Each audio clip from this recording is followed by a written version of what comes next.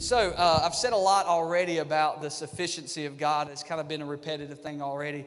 Sufficient this, sufficient that. But what does really sufficient mean? And I want to start with a definition this morning.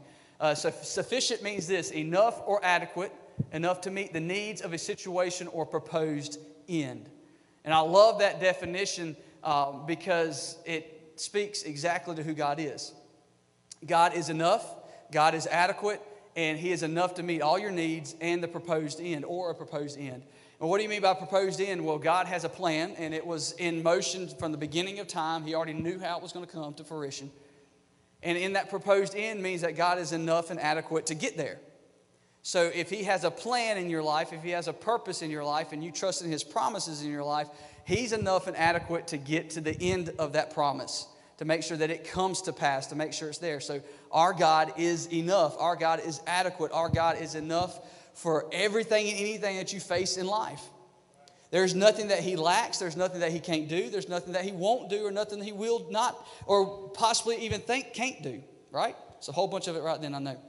I know sometimes people go into to, uh, the Gospels and they look at this passage in there that talks about Jesus at Capernaum, or uh, it's pronounced Capharnaum, but it's the village of the comforter goes in there and he says the bible says that he couldn't perform any miracles. And you're like well didn't it say that? Well no he couldn't do it because of the faith there. It's not that he wouldn't do it or couldn't do it. He wanted to do it and he did some but the faith of the people prevented any more of it to happen. Well how did it prevent it? God can override your faith right? Yes because we see in the bible that where it speaks god help my unbelief. The man is asking for jesus to please help my unbelief override my unbelief.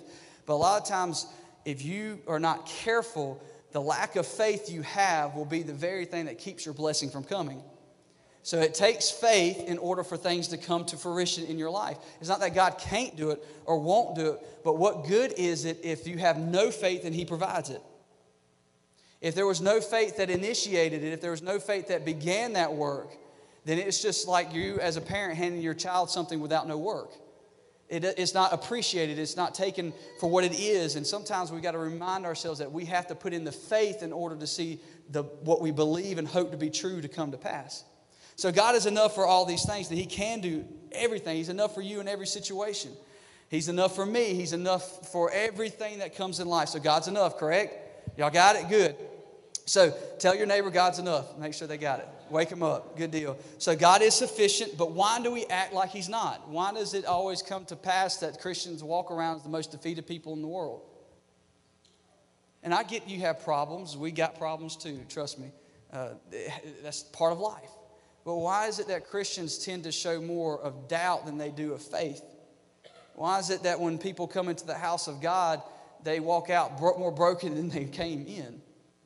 I wonder why that is. Maybe, maybe it's not because God isn't who He says He is. Maybe it's just that the people of God don't believe in who He says He is or believe that He can still do great things in their lives. So they walk around defeated when they're supposed to be victorious. But we forget this simple truth of God's sufficiency. We forget the simple truth of who He is, and we allow life to come in. We allow a myriad of other things to come in and chip away at what we once had as an unshakable knowledge one time in our life, we believed in God more than anything else in the world. He can move every mountain, and then life came around and started to chip away at it little by little. And all of a sudden, the God that was bigger than our mountain now seems that He's smaller than it. These, so, hopefully, through these next three things, you will allow God to kind of twist some things around, kind of move some things within your spirit to say, hey, this is, this is what needs to change. And it's okay that it needs to change because I've got something better for you on the other end of it. So hopefully we'll see this through these three things. And ultimately, if you allow it, it will rekindle or start, one of the two, something in you that will allow you to trust in Him more than anything else in your life. More than the money you make, more than the spouse that you have, more than the people that's in your circle, more than the job that you go to, more than anything else, you trust in the sufficiency of God to provide along the way in every part of your life. So we're going to look at three things this morning. And let's start with number one this morning, or you can say the first example, whatever you want to call it. But it is called the sending. The sending.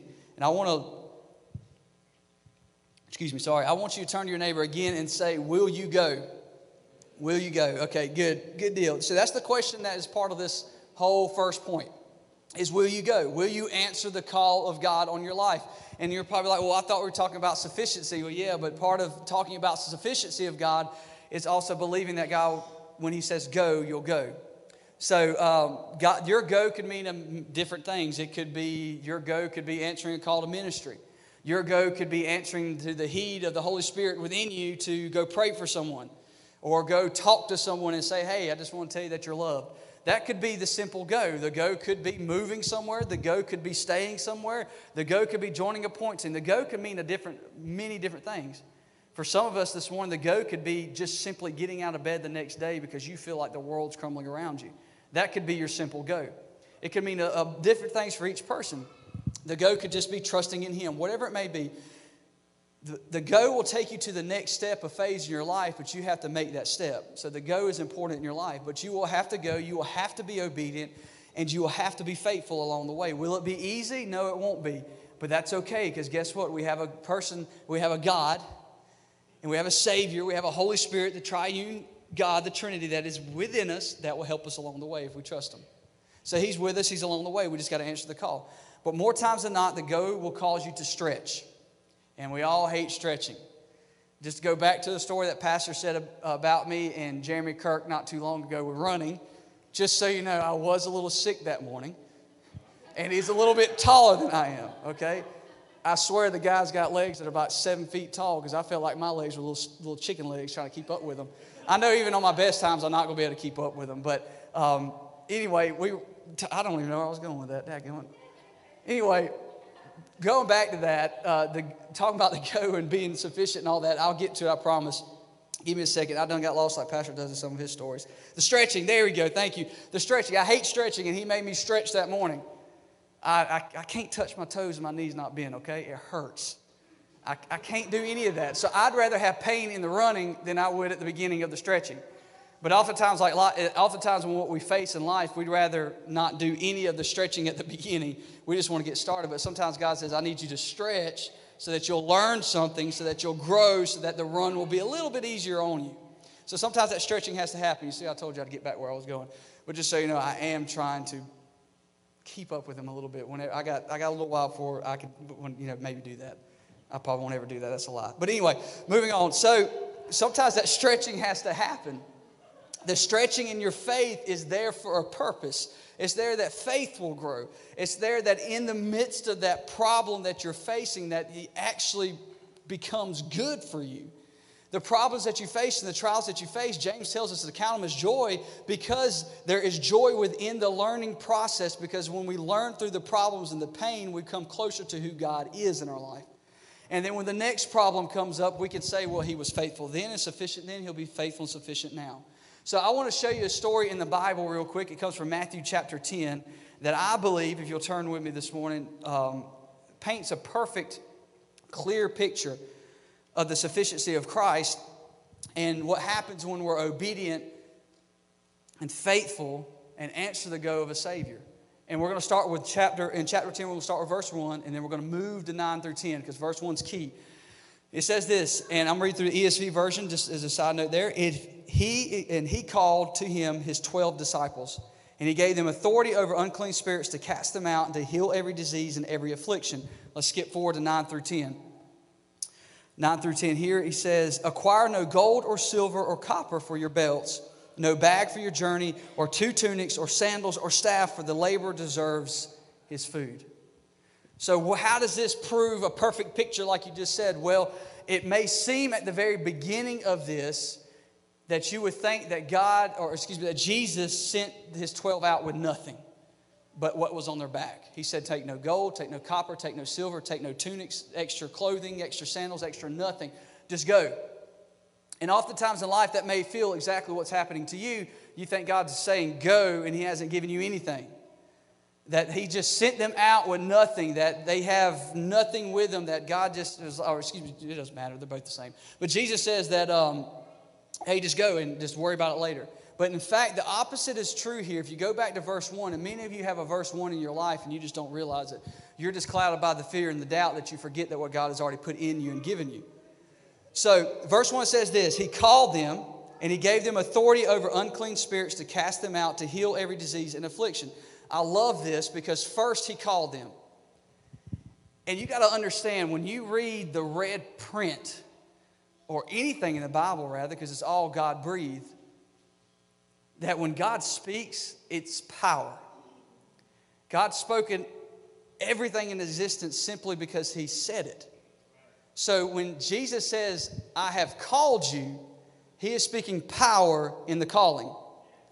And when He says, I have called you, that is enough for you to continue to move forward, despite Him saying, Don't take nothing with you. So for some of you this morning, you're like, well, maybe this is leaning towards more of you're talking about somebody called to ministry, but no, everybody's called. Some of you have been called to death to life, and you just need to answer the call.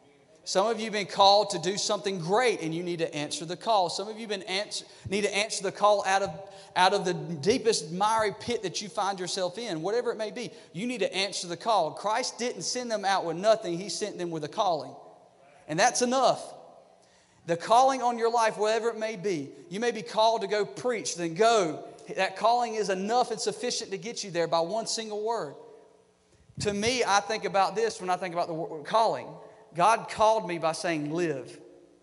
And when He said, Live to me, He told my dry bones to come alive. He told my iniquities and everything within me to cease and go away. And He told me to get up and move forward simply because He told me to live. So maybe the, the word in your life may look different, but he's called you. And the second thing he did is he gave. He gave them something. So it may look in 9 and 10 that he sent them out with nothing, but in fact, he gave them authority and power. So not only did he call them, but he gave them authority and power to do all the stuff that he needed them to do. Now, granted, they were going out just to preach to this, this new stuff to the Jewish people. We find later on in Acts that the Gentiles will begin to get uh, the word of God to them. But right now, it's focused on them, the Jewish people but he gave them the power to do the stuff. So when you are called and he has spoken into your life, he has given you authority and power by simply speaking to you. Because you're answering him as a child of God. So this morning, many of you need to realize that even though that it seems like God may have sent you out on this journey with nothing, in fact, he sent you out with everything you need. Because what's so cool about this is that we find at the very end of verse 10, it says, For the laborer deserves the food or his food. Well, what does that mean? That means when they went out and preached the gospel and it impacted somebody's life, what happened then is that person would begin to support them. Because that support, they wanted someone else to know about the gospel. So they would support the disciples. So they would stay in that house. They would do church in that house. They would feed them. They would clothe them. They would do all this stuff for them so that someone else would get what they have just received.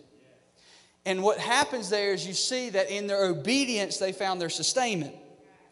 What you think that God sent you out to do, which was just to go and God, you didn't give me nothing, man. You tell me to go out just with what's on my back. But God's saying if you just be obedient, you'll find your sustainment. And many of us this morning are sitting on the cusp of being obedient and wondering where our sustainment is. And God's like, until you go, you won't find it. The church has to get up and go to find the sustainment. You've got to get up and go to find the sustainment. You've got to be obedient and faithful to a God that will be obedient and faithful. It's not a question if He will sustain you, it's a question of when you will receive it by being obedient. And I love that about them because they go out and do that they find sustainment through obedience. They had all they needed to begin with. They had all of it, and then along the way they were supplied, just like you, like us as a church. We supply the tithe and the offering so that the gospel will go out. You see at the beginning of the Bible, you see it all the way through the Bible, the sustainment of God through the people that he's preaching to or the people that the word's going to. So we get to band together, whether you preach, whether you do anything on point team or not. If you just give or tithe, you are part of the ministry. It's a little side nugget there for you. You see the sustainment of the people there. But how does all this apply to you? How does this prove the sufficiency of God in face of your mountains and your valleys this morning? Because it's one thing for me to be up on stage and tell you all this great stuff, but until you actually ingest it and take it and do something with it, it won't really make any dent in your life. There won't be nothing that happens until you allow it to affect you. But how does it do that? Because just like the disciples, you as a child of God this morning have been given everything you need.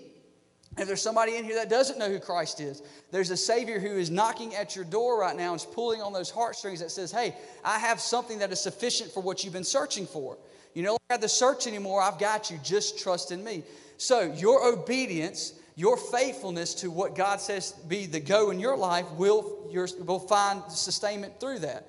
Your sustainment will be found in that when you answer the go and be obedient in that. But why are you allowing what was supposed to be a stepping stone become an immovable mountain in your life? What was supposed to be a faith booster has now become a faith killer in your life, All because you have forgotten that you have all you need already with you.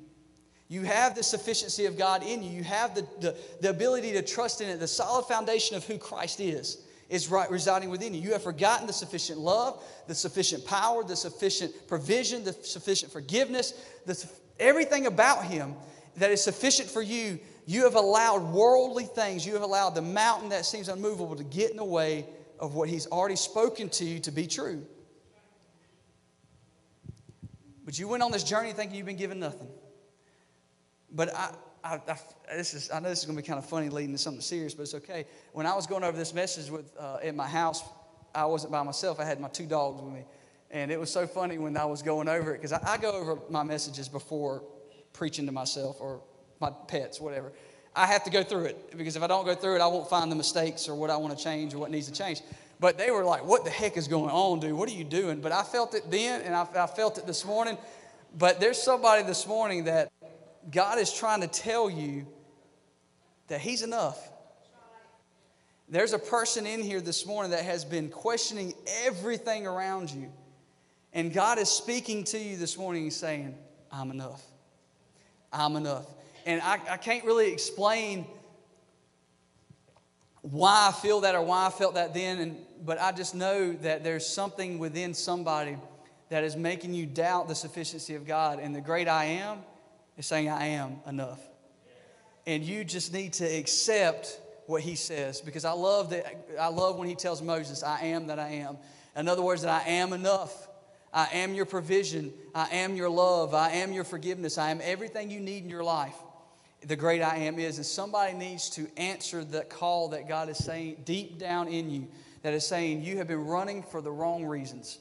You have been searching for all the wrong things and you have been wondering when something would change, and I'm giving you an opportunity to do it now because I am sufficient for you. And you need to answer that sufficient call to you this morning. But if that's not enough for you, if this example of what happens in Matthew chapter 10 is not enough, I want to look at David's life. I preached on David a while back, and because David's just a, a, great man of God. Uh, he's a God after man's own heart and he has many things in his life that reflect us every day. His issues. I read a psalm not too long ago that was a lament about what he had done with Bathsheba and to Uriah, her husband. And uh, it was a lament to that, and it shows the, the, not only the deepest, darkest despair of David's heart, but also his looking for forgiveness and then accepting that forgiveness and moving forward. So David's a great man. But David was the eighth son of Jesse that Samuel saw. We all know seven's the number of completion. So he saw seven sons, and, and Samuel was like, "No, nah, this isn't this. I need, I need another." And I preached on how everybody's got their eighth day coming. Your, your number eight's coming, which is a new thing, all that good stuff. But, uh, but David shows up after being in the field, and uh, Samuel says, "That's the guy." He anoints him, the next king of Israel, puts God's anointing on him. His power rests within him, and he's sent back to the shepherd's field. He's sent back, and one day he goes to deliver food to his brothers. And what turned into a delivery of food began a delivery of a nation. So not only does that speak something volumes because God will do something extraordinary in your ordinary if you allow Him to, simply by heeding the call to go, you'll be surprised at what He'll do in your life. But He goes and He sees the Israelites all lined up, and they're like, He's like, Who's this uncircumcised Philistine mocking our God? What are y'all doing? Why y'all? What are y'all doing? And He answers Goliath's challenge. I'll fight you. So He goes in I'm, getting, I'm going to get a little excited about this guy. I love this part. He goes in and he goes to uh, uh, Saul's tent. The anointing on Saul has already been lifted and put on to David. But what we see Saul doing is trying to put on David his armor and his sword. And David's like, I, I, can't, I can't wear this. this. This isn't working for me. And some of you are walking in here day after day, Sunday after Sunday, and people are putting on you something that was never meant for you. And God's got a fresh anointing on you, and you need to rest in that. You need to rest in that. Saul had an anointing, but God said, I'm done with this because of your disobedience. Now I'm going to put a fresh anointing on this man. And many of you are trying to live out an anointing from somebody else on your own life, and it ain't working. And it's time for you to accept the anointing that was tailor made for you. Too many times people walk around trying to live off of mama, daddy's, grandma's faith. And God's trying to say right now, I got something fresh for you. It worked for them. It's not going to work for you because it wasn't meant for you, it was meant for them. So you've got to get back into your own anointing and allow yourself to go forward in the sufficiency of God. So Many of us are allowing something to be put on us that wasn't meant to be put on us. You're trying to say that worked for that person. Man, you see his faith, you see her faith. I want that faith. So now I'm going to do whatever I have to do to make sure I have that faith. Whatever book they read, whatever conference they go to, whatever they do, I'm going to do that because I want what they got. And God's sitting there like, I've got something far better for you. It's working for them. Let me work in you with your own anointing. So some of us got to answer that. And what's so important about this is that David knew that he had already been given what he needed. He spent the time in the sheep's field learning to be a shepherd of sheep so he can be a shepherd of a nation. He killed the lion and the bear, which means that if my God got me through the lion and the bear, that means my God will get me through the giant in front of me. So David already had what he needed. All David had to do was trust in what God had already provided. Much like the disciples that were sent out with the calling and the gift of authority and power, they had to believe in what Jesus had given them to be enough to sustain them for everything that they came to. David's life is a mirrored point of that. So, what David did is David believed in what God said. God put me in the shepherd's field for a purpose. I learned not because I'm a Benjamite, but because of what I've done there, I've learned how to use a sling. So, you know what, Saul, you keep what you got. God's gave me a fresh anointing for me. I'm going to go use it. I'm going to grab these five smooth stones, but I'm only going to need one. I'm going to kill the giant. I'm going to move on. Because he knew that God had given him what he needed. He was sufficient. All David did was be obedient and faithful to the call to go, and he, go, he went, and then look what he did. So many of you are facing that go. Many of you are facing that, that time where you need to just get up and move. And God's saying, if you'll just be obedient and trust in what I've already given you, which is just the word from my mouth that promises you that everything will work out for my glory and you're good, just trust in me, move forward and go, and you'll find your sustainment. And somebody needs to move forward this morning. If not everybody in here, I know I do. There's a lot of stuff in my life that I got to say, okay, God, I trust you. I'm going to move forward. I don't know what it means. I don't know what it's going to show. I don't know how I'm going to make it. But I know you've given me enough to make it possible, and I'm going to trust and be obedient so I find my sustainment in the moving. So, David was obedient. The disciples were obedient. Now the question is, will you be obedient? So, why haven't you moved? Why haven't you moved forward? Why haven't you gone forward? Why haven't you accepted the anointing on your life? Why haven't you stopped putting on things that wasn't meant for you? Why not? Why haven't you moved forward? That's a question you'll have to answer between you and God. And many of you probably already know the answer. Many of you probably already know that there's something blocking you, that there's something in the way, and it might be just you. You may be blaming it on many other things, but it may just simply be you. You can keep blaming it on everything else, but maybe it's you that needs to change. Maybe it's you that needs to stop doing some stuff. So trust, rely, and He is sufficient for your every need. Because one thing about God is His tomorrow for you is far brighter than the tomorrow you have for yourself. Because He could give you something that you never could give yourself. And He continuously gives every day. My mercies and grace are made new every day. So God said, move. Write that in your notebook or in your mind. God said, move. Will I move? God said, Move. Will I move? And will I find my sustainment? Yes, I will if I move, however you want to put it. The second thing this morning I want to talk about is the manna. And we're going to go from the New Testament to the Old Testament. We're going to go to Exodus chapter 16. We find God speaking to Moses here. He talks about the quail, he talks about the manna, he explains why he's doing it. And uh, we're going to focus on 13 through 15 this morning. And it says this In the evening, quail came up and covered the camp, and in the morning, dew lay around the camp. And when the dew had gone up, there was a face on the wilderness of fine flake like th- uh, flake like thing, fine as frost on the ground. When the people of Israel saw, they said, uh, they said this to one another What is it? And the cool little thing about this is, is that what is it in Hebrew kind of sounds like manna. So that's where they believe the word manna came from. So what is it? For they did not know what it was. And Moses said to them, It is bread that the Lord has given you to eat. His bread has given you uh, bread that the Lord has given you to eat. So a little backstory of this: the Israelites have been grumbling. If you know anything about the Old Testament, the Israelites, that's what they tend to do. Uh, God's chosen people seen miraculous signs all day long, and they still grumble much like us today. We see God's mercies. We see, uh, this is going to be one of those little points here, so you're just going to have to just hide your toes for me, okay? It stepped on mine the whole time. But we see it, we know it, but yet we still grumble But what God does is He says to Moses, I'm going to do something and I'm going to test my people. I'm going to provide for them. I'm going to sustain them because I've heard what they said about it's better to be full in Egypt and slaves than it is in the middle of the desert and starving and free. So I've heard what they said. They're not appreciative of what I've done, but guess what? I'm going to do more. And hopefully, by this doing more, Moses, they will trust in my sufficient power and my sufficient provision, and they'll abide by me and my law. So that's what a little backstory of that. And I wonder how many times, though, God says that about us. I'm going to send this test their way, but I'm hoping and I'm believing that my people will trust in me to be sufficient. I wonder how many times He looks at you and says, "Okay, I know, I know, I know, child. This is going. to This may sting a little bit. It may look a little dark, but trust me, it's just a test. It's not meant to destroy you. It's meant to grow you. But just trust in me." And I wonder how many times we look at it and we grumble to God, like, "Are you kidding me?"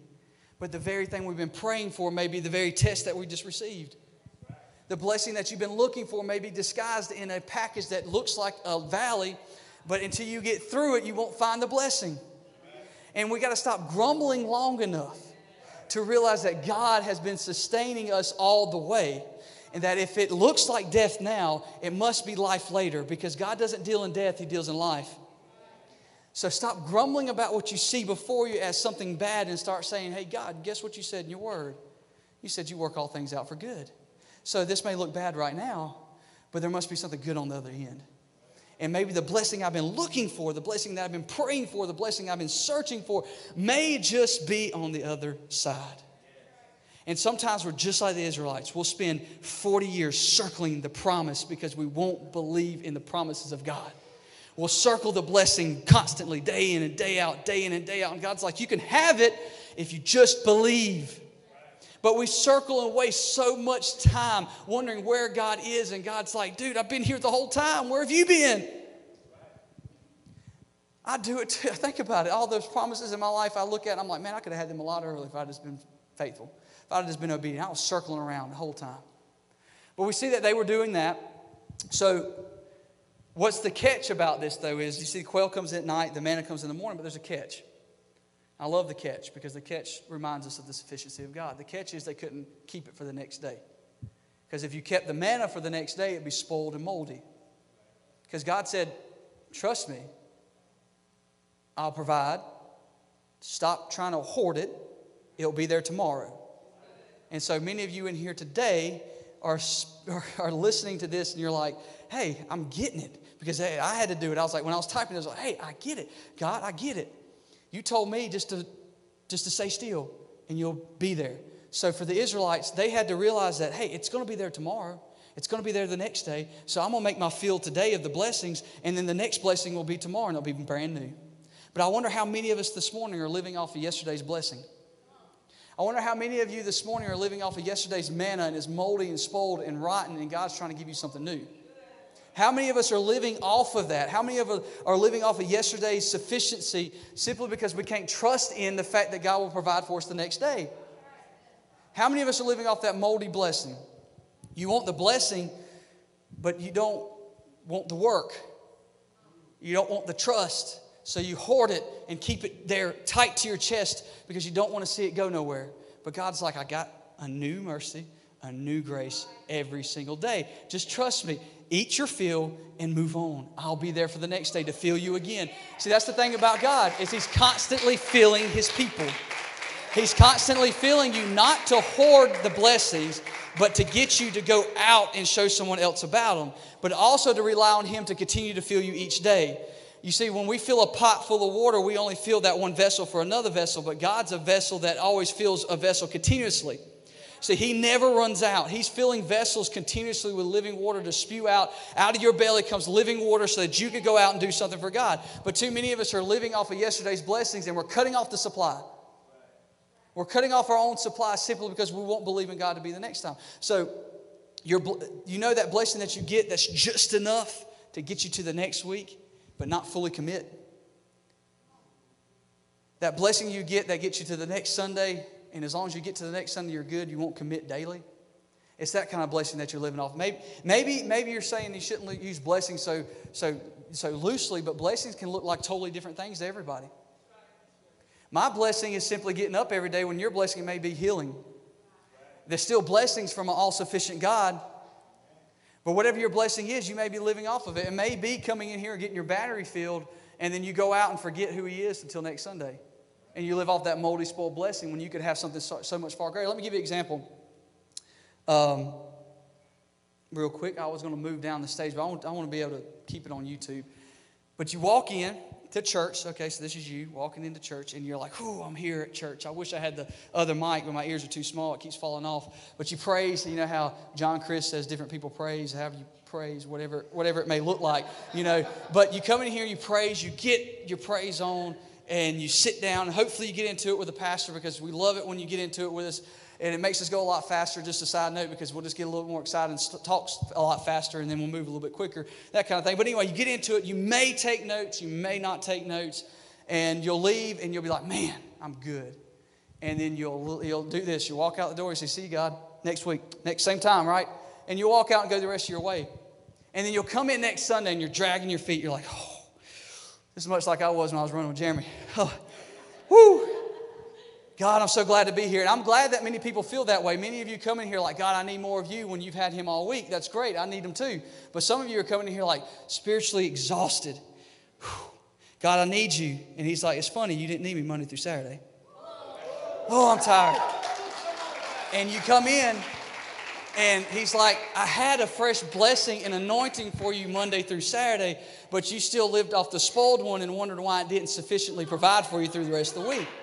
So you come in and you hoard up and you leave and do the same thing. And you may come to Wednesday night, you may not, because you know Wednesday night ain't that important. We don't do praise and worship, so it must not be important. So we must not commit any more time to God. One and a half hours is enough. God forbid we give any more time to you. And then you wonder why things never change because you're changing nothing about your faith. Faith is a changing process. And until you allow that changing to happen, nothing in your life will completely be different. Because what my God says is, you're new when you become a Christian. I have this whole baptism thing death to life. So if I'm new, then new habits must be formed. If I'm truly new, new things should be happening. So we need to begin to have a faith that says, Sunday's over with, great, icing on the top. Monday here comes. I'll praise you, worship you, read about you, do whatever I need to do, have prayer with you Tuesday, Wednesday, Thursday, Friday, Saturday. Come back and we're good. Like, yeah, yeah, God, whoo. And we're not spiritually tired anymore. But then some of you are probably thinking what I did when I was writing this. Having a perfect, great relationship with God Monday through Sunday, will that constitute a, a life full of pleasure and no pain? No, it won't. Just because you have a great relationship and you actually come Sundays, Wednesdays, and you read in between and you praise in between, you worship in between, and worship's more than just what we do in here, it's what you do daily. That's the right and true worship, it's living as a sacrifice daily. So we, we, we do that, and we get a, and then something comes our way, and we're like, God, I did all this stuff. I finally came in and did more than just come and leave you. I actually took you with me, but why am I still seeing these storms? And God's like, because I'm growing you. But the great thing about having a day to day relationship with God is that when those storms and those problems come, guess what you have?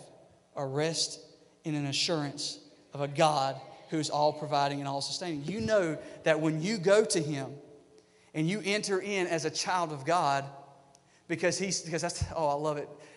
This, that's why the Old Testament is just as important as the New Testament. We are the living temples of God where the, the, the God resides within us. The fire that was once in the temple physically is now inside of us spiritually. That we can walk in and we can say, God, man, I, things are going rough, and He'll listen. God, I already know you know, but I want to talk to you. See, we have the assurance in knowing with a day and day walk with God that He will listen and He will sustain and He will provide and He will always come to, to His promises and make sure that they are fulfilled. Whether that is right then or 10 years later, we know because we have confidence in what we do every day. You know how you get stronger in the gym? You work out all the time. And then before you know it, the 10 pounds becomes 100 pounds. But you've got to learn to take on a little bit more. And what's the great thing about God is when you feel like, and that's, there's a whole debate. I, I, know some people have told me before that's not in the Bible, that's not this, but it is. When he says that uh, he'll put nothing on you that you can't handle, that's, that's, not, that's, that's not biblical. God puts on you more than you could take. Because if he did put on you more, if he put on you just what you could take, what need would there be for God? So he puts on you more so that you'll run to him and say, Here you go, God. I trust you. And then when you trust Him and give Him that weight that you couldn't carry, you begin to build trust and faith in a God who is sufficient for every need you come in contact with. He is sufficient. And when you go before Him and He says, Guess what? You were faithful with the small, now will make you faithful with the large thing. You had went through this valley and, and you came out on the other side and you learned, and I'm ready to grow you again. And I love to I love to kind of try to make in my mind the notion to say if something comes my way, God must want me to be bigger and better about something for somebody else or for myself. So when I see another valley come, I see another opportunity come.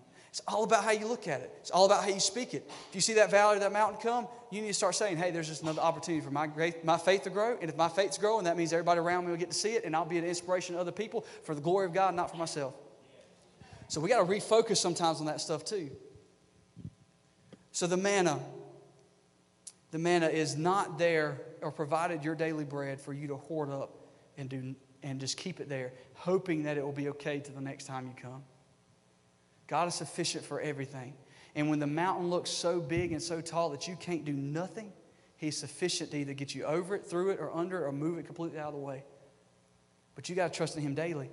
You got to understand that when He provides something for you that seems like it's too big for you, that He's big enough to supply, to get you through it, and to teach you what you need to know about it. Maybe the reason you forgot the all sufficiency of God, you don't feel Him anymore, and you don't see Him anymore, is because you don't have a full time relationship with Him. You could trust in the all, you can't trust in the all sufficiency of God until you have Him supply your daily needs every single day. The only way to learn that something's sufficient is for you to trust in it to be sufficient. It's a simple notion. But if you trust in it to be there every day, then you'll build that trust for it to always be there. So that's the same thing with that. It has to, it's a full time relationship, full time commitment. The Israelites got manna, but they still hoarded it up. And even on the sixth day, God said you're not to do anything on the seventh day. So he provided enough for them on the sixth day to get them to Monday. But still, many of them went out looking on Sunday for the manna. And God's like, what, didn't I supply you last week? Didn't I supply you last week? So some of us has got to get onto that. So are you still list, uh, uh, are you still living off of last week's manna? Are you still living off of last year's conference, last week's worship experience, whatever it may be? Are you still living off of that? Are you still living off of what is supposed to have just been for that day and not accepting what God is wanting to give you for this day? The issue is that issue is that we don't trust in the sufficiency of God and also staying love and provision for our lives to be enough to allow Him to be all we need. Until we trust in all those things, we'll never trust in Him to be all we need. He is your daily bread. He is all you need. And is He sufficient? Of course He is. Of course He is. So, what are you going to do? Are you going to keep hoarding up this? I, I, know it's a great experience. I love coming in here and seeing you every week. I, I, I do. But are you going to hoard up this and not allow God to give you what He wants for you Monday and miss out on that Monday? And then, same thing on Tuesday and Wednesday and Thursday and Friday and Saturday, and then come back in here and you're drained again? I'd rather go through life having God sufficiently providing for me every step of the way and face problems knowing that He's with me than face that problem wondering where he's at. So the last thing is this. So we have seen Jesus already said and given us all we need to go. He's given us everything that we need to answer the go. And by answering the go, we, found the, we find the provision, we find the sustainment, and we find that He is sufficient. We have seen that the manna teaches us reliance on God daily and that we need a daily relationship with Him for those new blessings that are every single day and accept that and stop hoarding. We've seen that. But now, lastly, I want to look at the confidence that is found within the only prayer in Proverbs. Proverbs is an amazing book of the Bible. I used to take it for granted until I really took it for like serious and started reading what it really was trying to do. And it's a wisdom literature. But throughout Proverbs, we only find one prayer, and it's locked into these verses Proverbs 37 through 9. And I, and I love this prayer that we find here with this author. And we're going to only focus on one verse, but I want you to see the whole thing of this prayer. He says this Two things I ask of you deny, uh, deny me, them not to me before I die. Remove from me falsehood and lying. Give me neither poverty nor riches. Feed me with the food that is needful for me. Lest I be fool and deny you and say, Who is God? In other words, unless you go off and think that you can supply yourself and that He gives you too much to where you don't rely on Him anymore. And He goes on to say this or at least I be poor and still and profane your name of my God, the name of my God. In other words, unless you stop believing in what he says he is and go off and do something that's against him. So it's a powerful prayer that's wedged into this already powerful uh, chapter. Give me neither poverty nor riches. Feed me only the food that is evil for me today. That is the verse I want to focus on for this last point. Let me go ahead and put it up behind me. It's uh, actually 8b. Uh, the NIV says it this way Give me only my daily bread. Sound familiar? We just talked about it with the manna, the daily provision of the Israelites. But for this point, I want to tie together the first two points into the confidence that we find in this prayer. I want to tie all it together with this confidence we find in this prayer. This prayer that asked just for what the author needed, nothing more and nothing less. And I wonder how many of us this morning could actually pray this and be sincere about it. In a world full of telling you, hey, you got to have this to be successful. You got to do this to have worth. You've got to have this car, these shoes, that, this, that, whatever. That they, they show you what constitutes worth as worldly. I wonder how many of us can pray this sincerely and say, God, just give me what I need. I don't need the riches. I don't want poverty, but just give me what I need. Sustain me daily with what I need. This prayer is a prayer that will make you refocus what you think constitutes worth. Because I think sometimes not only do we constitute worth physically, but spiritually totally wrong. Some of you walk in here and you feel like you're of no worth whatsoever to anything because you've allowed so many other things constitute what God's supposed to tell you what's true. God said that you are worth more than anything in this world, enough for me to send my son to die for you. And that worth, that worth right there is priceless. And many of you are walking around like you're worth two bucks and 50 cent would nothing. And you're allowing everything else to constitute your worth instead of God. And God's trying to tell you, you're worth more than diamonds, you're worth more than pearls, you're worth more than anything in this world. I died for you so that you could come to know me forever and live with me forever and be with me forever. That's how much I loved you. And too many times we're allowing too many wrong things constitute our worth. So I wonder how many of us can pray, God, I don't need the riches of this world. God, I just need you. God, I, I don't, I, just give me what I need. Give me what I need to be sustained to do what you've placed me on this earth to do. Because you are not, you're, you're, you've got to fill the void in this earth, you alone, for what God's placed you here for. And until you do that, there's something missing in this earth until you step into that.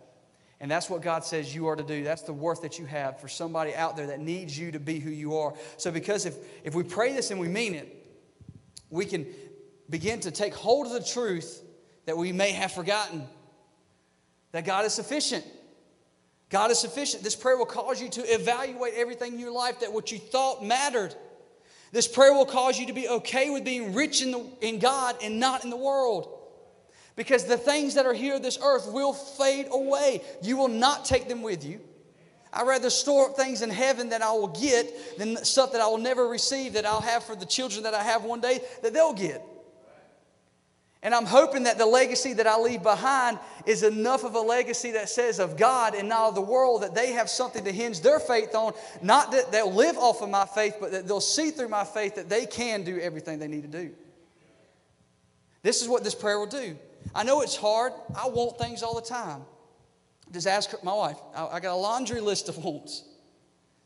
I, mean, it, it, ranges from outdoor stuff to Star Wars stuff, in between. I love. I, I'll that's just what I, that's just me. I got a want for every every little bullet note in my mind. What I like, I got a want beside it.